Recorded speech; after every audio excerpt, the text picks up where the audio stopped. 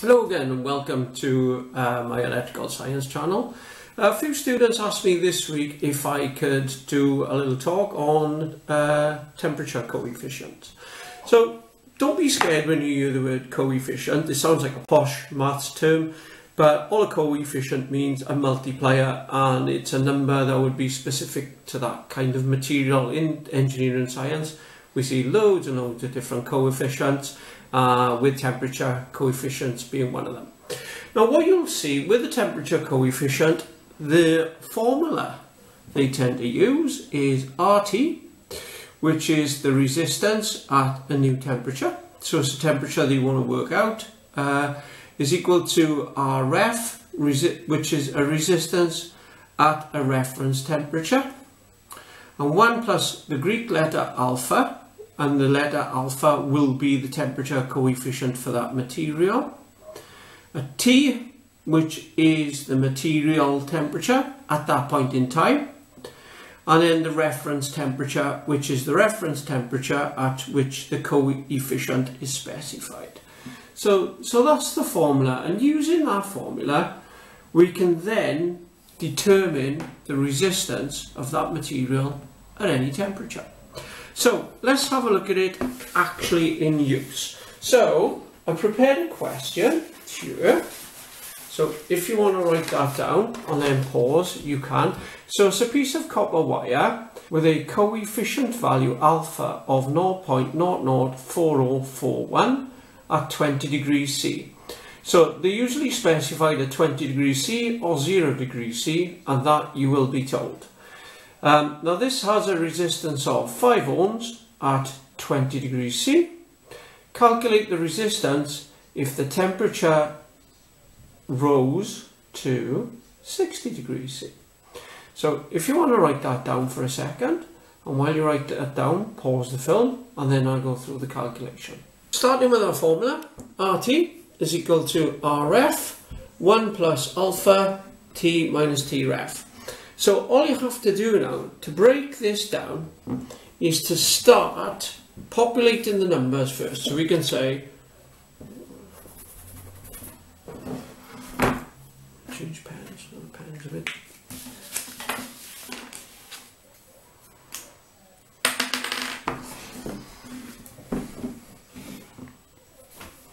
So we can say ah T is equal to the reference resistance. So that's going to be 5 ohms. 1 plus the alpha value, and we said that's 0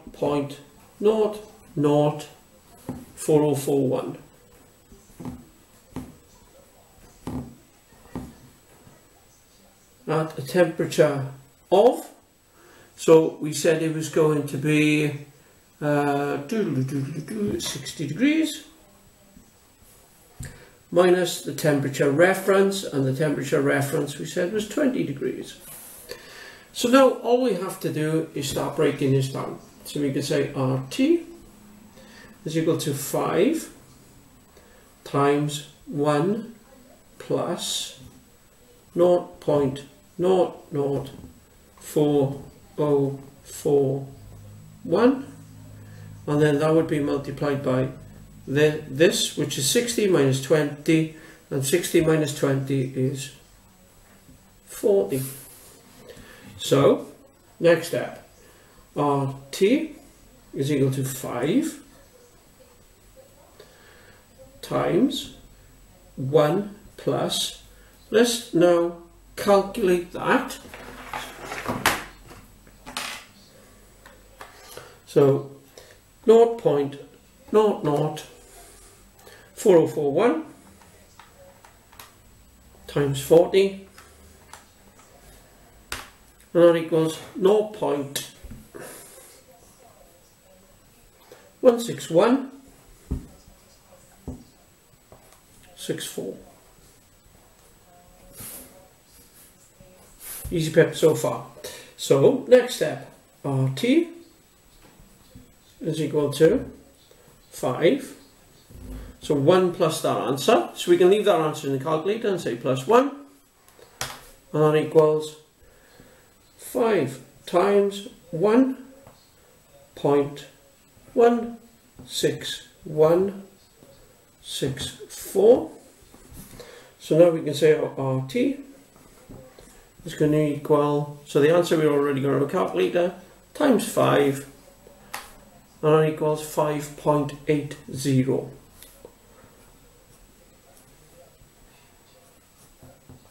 And it's a resistance, so the answer is going to be in ohms. That's quite simple, isn't it? When you look at it logically, in that format, it really is quite simple. So, with that in mind, what I want you to do is like we've done previously,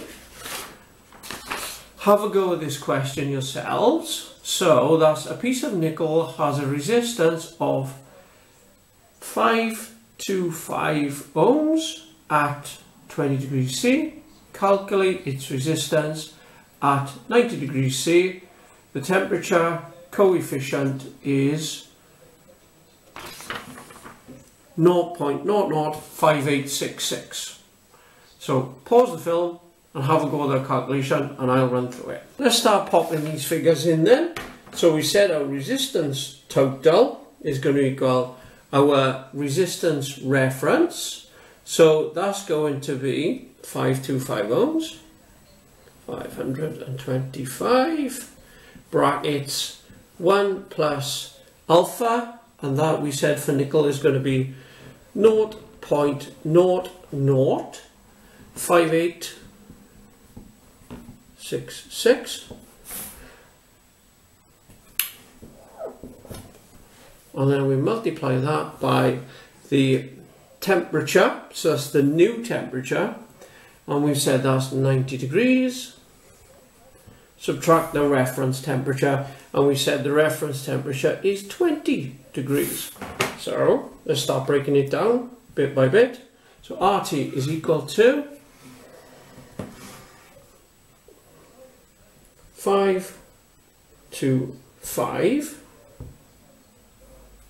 1 plus 0 0.00586 that'll be times 90 minus 20 is 70 so let's do that first. So RT, well, let's do that now, is going to be 5 to 5, 1 plus, and then we'll do that math, which is going to be 0 0.5866 times 70, which equals 0.40. 6, 2. So, our RT is going to equal five two five. sorry my writing is going a little bit wobbly, times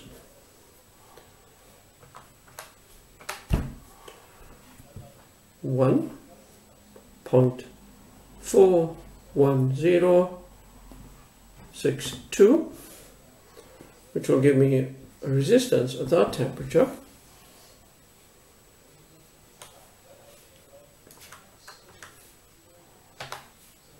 of 740.5 omega. And that's how you do it. I hope you found that okay. That's how you do it, that's how you break it down. And I think if you take those steps, you'll find that quite easy. Thank you very much. Uh, please subscribe if you like it. And if you need me to go through anything, please comment. Thank you very much. ta.